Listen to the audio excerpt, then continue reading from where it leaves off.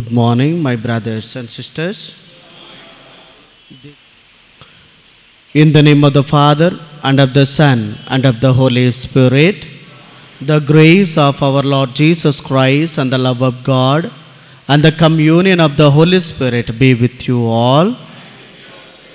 My brothers and sisters in Jesus Christ, on the way to Emmaus, two of the disciples as they were traveling, the Lord interacts with them. He starts speaking to them in the form of scriptures, explaining. Once the Lord starts speaking with them, explaining the scriptures, their hearts started burning. This is the first step of working of the word of God in our hearts. Once the hearts were burned means the Lord started purifying the hearts of his disciples in order to become a great witnesses of his word. Same thing happens to each one of us as we come to the celebration of this holy mass. Once the Lord starts speaking to us in the form of word, our hearts also supposed to burn. That means we should be in that process of purification. So today, asking for this grace, Lord, purify us in order to become worthy to participate in this holy mass in a worthy manner. With this intention, let us close our eyes for a while, asking God's mercy and forgiveness and purity of heart to receive the Lord in the form of word, in the form of Eucharist.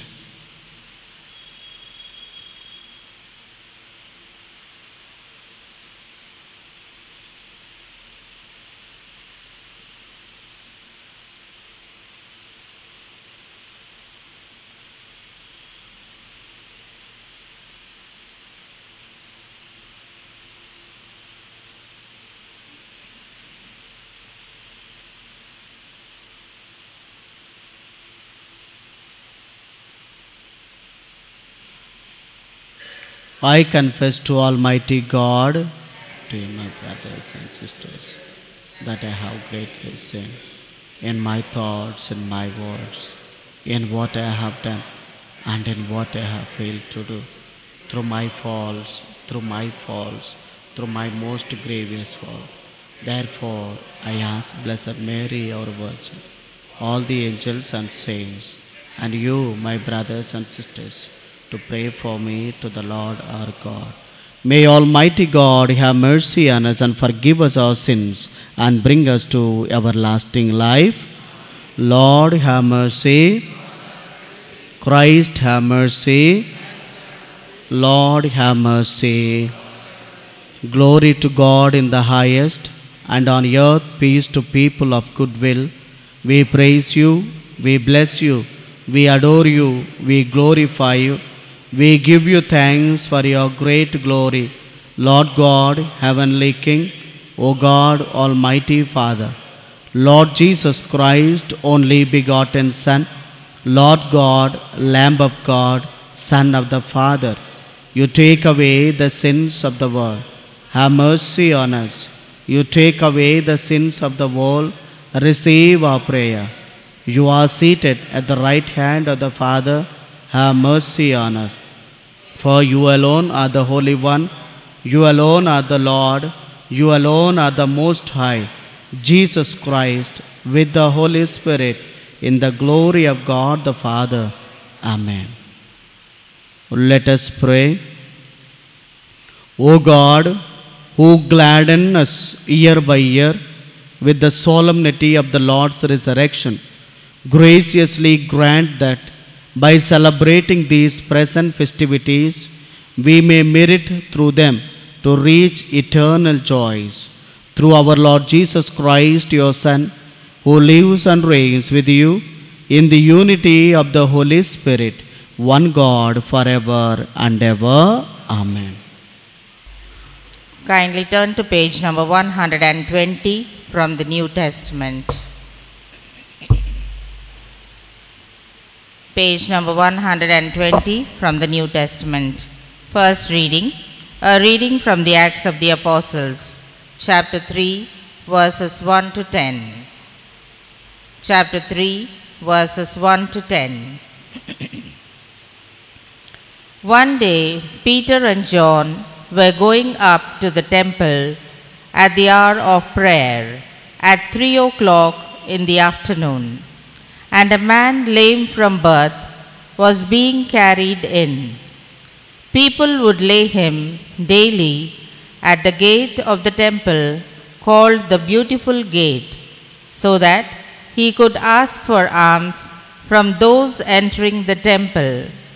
When he saw Peter and John about to go into the temple, he asked them for alms. Peter looked intently at him, as did John, and said, Look at us. And he fixed his attention on them, expecting to receive something from them.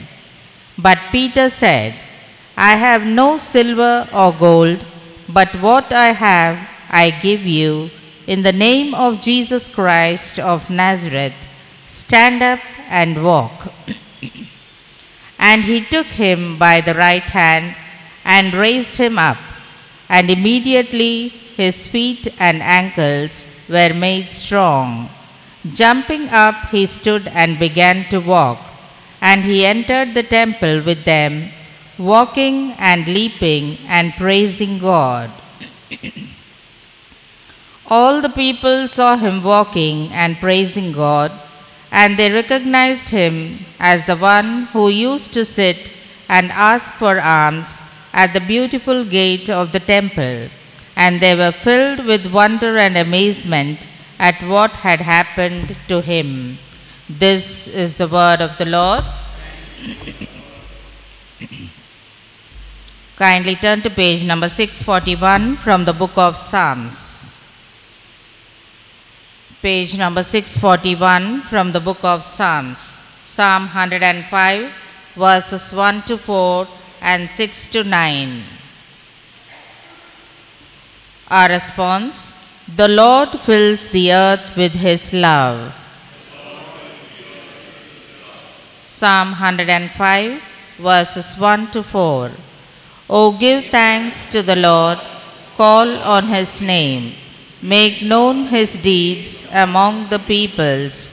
Sing to him, sing praises to him, tell of all his wonderful works. Glory in his holy name. Let the hearts of those who seek the Lord rejoice. Seek the Lord and his strength. Seek his presence continually. Verses 6 to 9. O offspring of his servant Abraham, children of Jacob, his chosen ones. He is the Lord our God. His judgments are in all the earth. He is mindful of his covenant forever, of the word that he commanded for a thousand generations, the covenant that he made with Abraham, his sworn promise to Isaac. Our response The Lord fills the earth with his love. Kindly stand for the acclamation.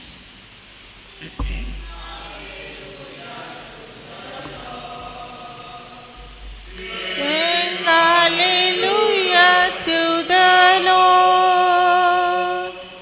Sing hallelujah. Sing hallelujah. Sing hallelujah to the Lord. Hallelujah, hallelujah. This day was made by the Lord we rejoice and are glad. Alleluia.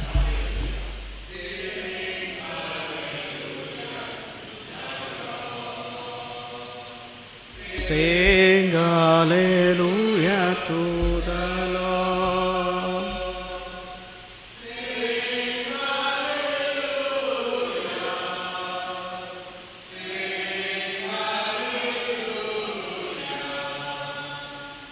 Sing hallelujah to the Lord. The Lord be with you. A reading from the Holy Gospel according to Saint Luke.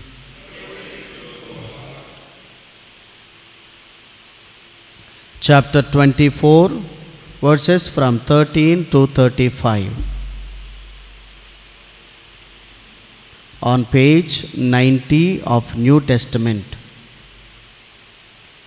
Now, on that same day, two of them were going to a village called Emmaus, about seven miles from Jerusalem, and talking with each other about all these things that had happened. While they were talking and discussing, Jesus himself came near and went with them, but their eyes were kept from recognizing him. And he said to them, What are you discussing with each other while you walk along? They stood still, looking sad. Then one of them, whose name was Cleophas, answered him, Are you the only stranger in Jerusalem who does not know the things that have taken place these there in these days? He asked them, What things? They replied, The things about Jesus of Nazareth, was a prophet mighty in deed and word before God and all the people, and how our chief priests and leaders handed him over to be condemned to death and crucified him. But we had hoped that he was the one to redeem Israel. Yes, and besides all this, it is now the third day since these things took place. Moreover, some women of our group astounded us. They were at the tomb early this morning, and when they did not find his body there, they came back and told us that they had indeed seen a vision of angels who said that he was alive.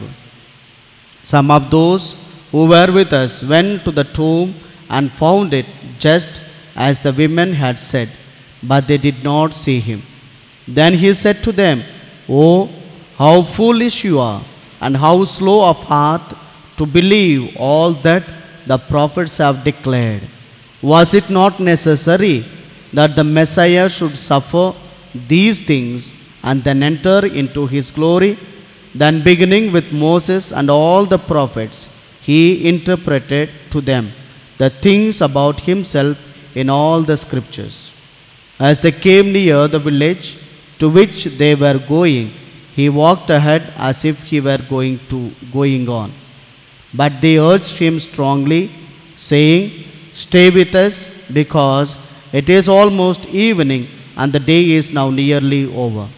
So he went in to stay with them. When he was at the table with them, he took bread, blessed and broke it, and gave it to them. Then their eyes were opened, and they recognized him, and he vanished from their sight. They said to each other, Were not our hearts burning within us while he was talking to us on the road, while he was opening the scriptures to us? That same hour they got up and returned to Jerusalem, and they found the eleven and their companions gathered together. They were saying, The Lord has risen indeed, and he has appeared to Simon. Then they told what had happened on the road and how he had been made known to them in the breaking of the bread. The Gospel of the Lord. May the words of the Gospel wipe away all our sins. Amen. My brothers and sisters in Jesus Christ, the disciples could not recognize the Lord because they could not digest. The Redeemer who would be the Redeemer of Israel hanging on the cross, received a cruel death and gone away before their eyes, which made them so sad. The moment they saw Jesus hanging on the cross, they forgot all the teachings, all the wonderful and mighty deeds done by the Lord during his public ministry. That is why even the Lord himself interacts with them, speaking with them, walking with them. Their eyes were closed because they started not their focus on the Lord, on the intentions, the plans that they have, which were disturbed because of his death. Because of that, the Lord starts opening their hearts and their minds and explaining the scriptures. Still, they were not able to understand the presence of the Lord with them. The moment they asked Jesus to stay with them that night, the moment the Lord took bread and gave thanks and broke the bread and distributed to the disciples, then their eyes were opened. The moment they recognized Jesus, but the appearance of Jesus vanished from their eyes. My brothers and sisters, today, even there will be sometimes even the lord himself talks to us even the lord himself interacts with us very many situations we also fail to recognize the lord today the risen christ is ready to teach us to interact us to transform our lives with his teachings with this celebration of the breaking of the bread. And today, we, the disciples, we, the faithful, we, the people of God, ready or not, is our question. If we open our hearts and our minds to the interaction of, to interact with the Lord, then surely the Lord is going to speak with us, going to take control of us. Let us ask the Lord for this grace in this holy mass. May good Lord bless each one of us, fill each one of us, one of us with His light and with His presence.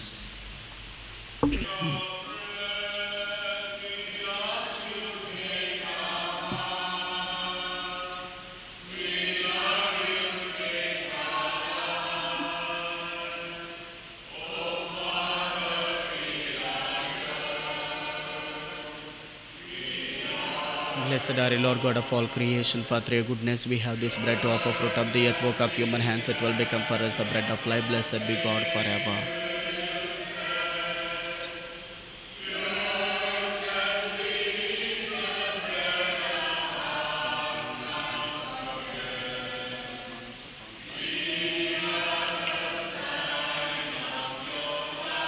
Blessed are you, Lord God of all creation, for your goodness we have this wine to offer fruit of the vine, work of human hands.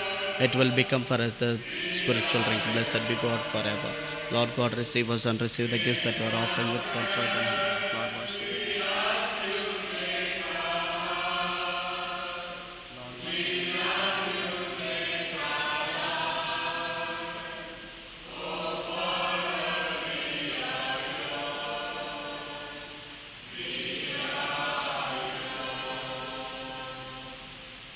Pray, brothers and sisters, that my sacrifice and yours may be acceptable to God the Almighty Father.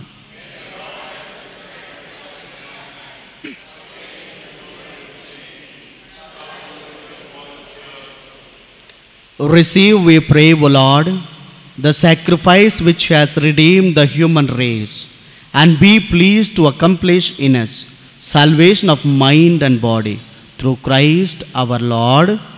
The Lord be with you. Lift up your hearts. Let us give thanks to the Lord our God.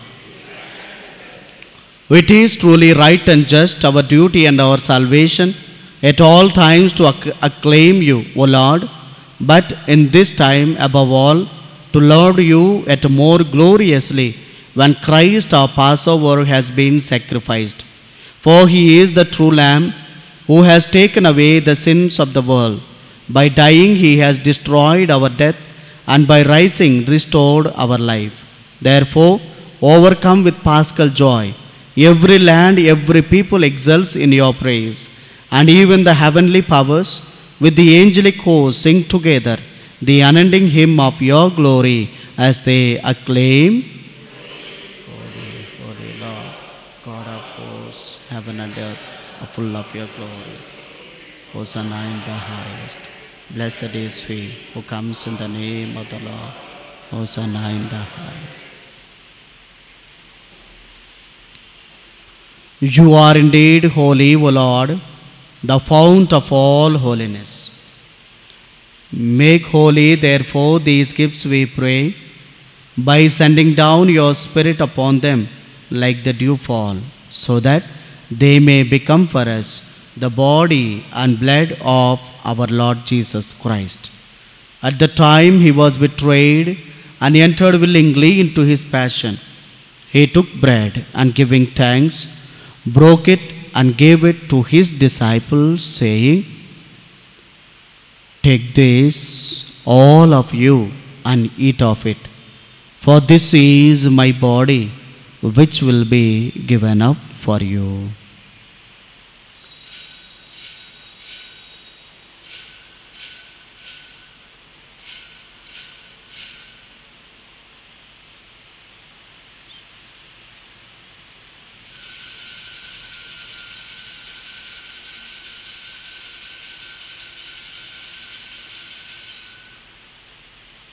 In a similar way, when supper was ended, he took the chalice and once more giving thanks, he gave it to his disciples, saying, Take this, all of you, and drink from it. For this is the chalice of my blood, the blood of the new and eternal covenant, which will be poured out for you and for many for the forgiveness of sins. Do this in memory of me.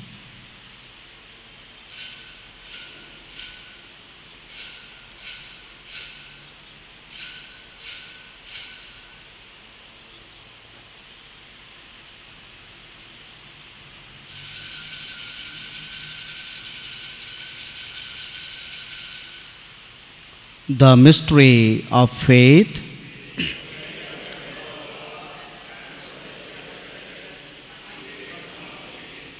Therefore, as we celebrate the memorial of his death and resurrection, we offer you, Lord, the bread of life and the chalice of salvation, giving thanks that you have held us worthy to be in your presence and minister to you.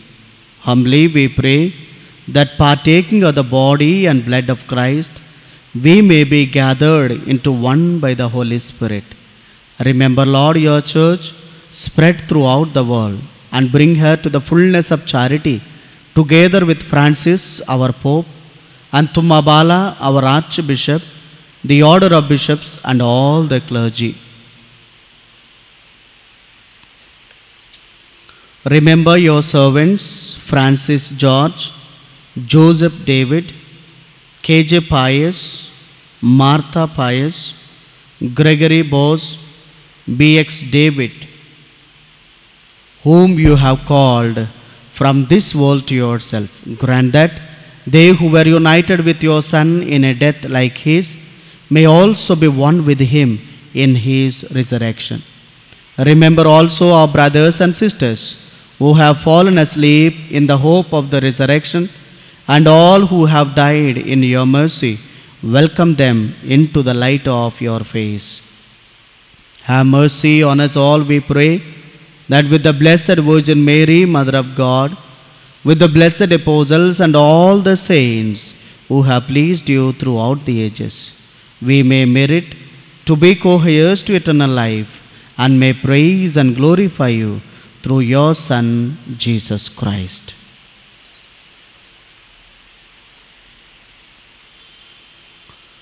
Through him and with him and in him. O God, Almighty Father, in the unity of the Holy Spirit, all glory and honor is yours forever and ever. Amen. Remembering and praying for all those who are celebrating birthdays and wedding anniversaries, offering them at the feet of the Lord, let us say the prayer Our Father, what in heaven, hallowed be thy name, thy kingdom come, thy will be done, on earth as it is in heaven.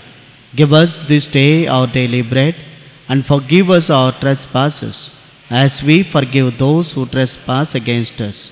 And lead us not into temptation, but deliver us from evil. Deliver us, Lord, we pray, from every evil. Graciously grant peace in our days, that by the help of your mercy we may be always free from sin and safe from all distress, as we await the blessed hope and the coming of our Savior Jesus Christ. Lord Jesus Christ, who said to your apostles, Peace I leave you, my peace I give you. Look not on our sins, but on the faith of your church, and graciously grant her peace and unity in accordance with your will, who live and reign forever and ever. The peace of the Lord be with you always. Let us offer each other the sign of peace.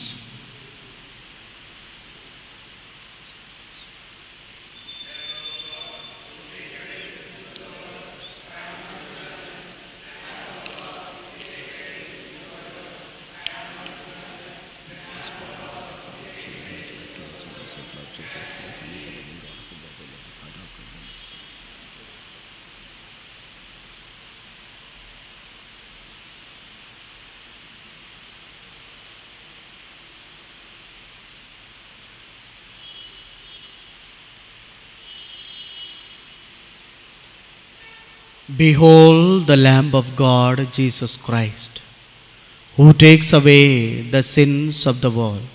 Blessed are we who are invited to take part in this banquet.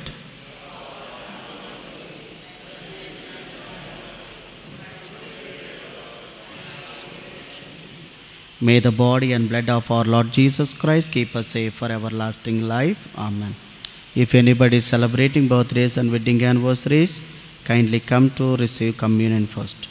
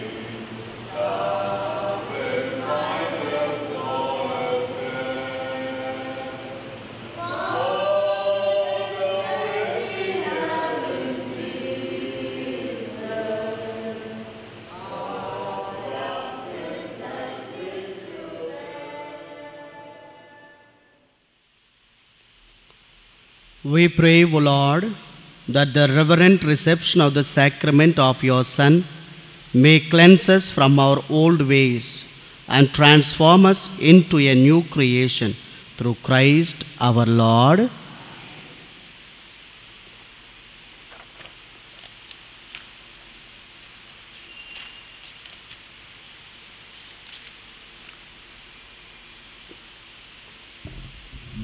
Blessing and sprinkling of water. Almighty, ever living God, who will that through water, the fountain of life and the source of purification, even souls should be cleansed and receive the gift of eternal life. Be pleased, we pray, to bless this water by which we seek protection on this your day, O Lord. Renew the living spring of your grace within us and grant that by this water we may be defended from all ills of spirit and body, and so approach you with hearts made clean and worthily receive your salvation through Christ our Lord.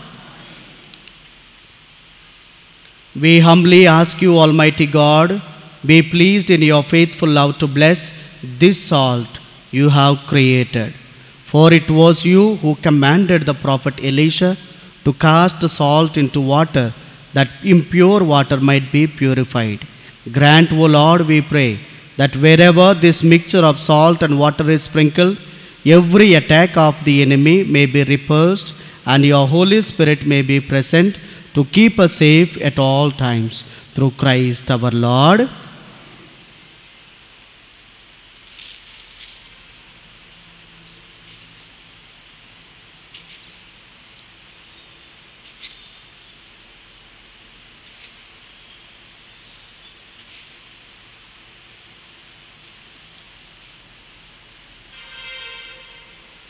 The Lord be with you.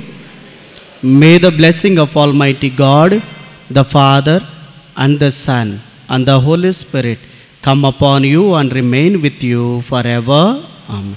Go forth, loving and trusting the Lord. Amen.